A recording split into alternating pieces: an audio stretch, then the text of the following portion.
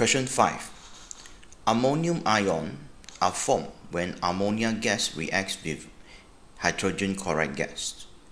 Which statement about the change that occur in this reaction is correct?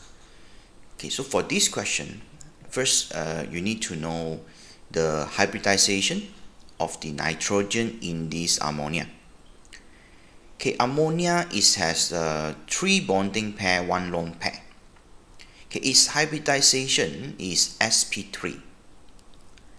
The three unpaired electrons here will used to form the three sigma bonds here with the hydrogen and the lone pair the lone pair here is also in the hybrid orbitals and this lone pair will be able to donate to the empty orbitals of the proton and form dative bond.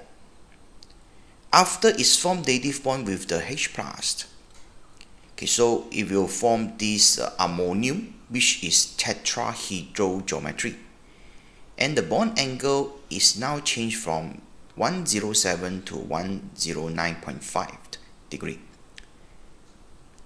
Okay, but however, you need to know after the dative bonds form, the hybridization of nitrogen still no change. It's still sp3.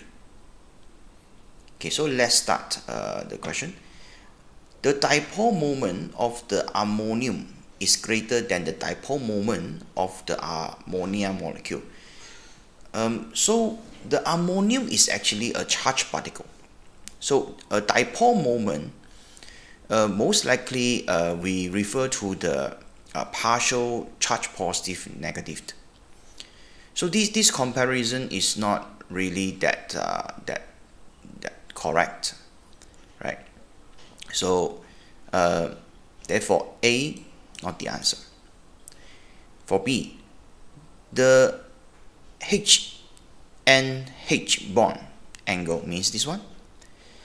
Okay, decreased when ammonium ions form. So the H and H bond is actually increased from 107 to 109.5. Therefore, this one also wrong. C. The hybridization of nitrogen does not change. Because as I told, as I told just now, the hybridization before and after the dative bonds formation is still the same sp3. So answer is C. Okay, so why D is not the answer? There is electron transfer from nitrogen to chlorine. Nope. So is uh, the dative bonds form is between the nitrogens and the, the hydrogens ion. Right. So therefore answer is C. That's all. Thank you.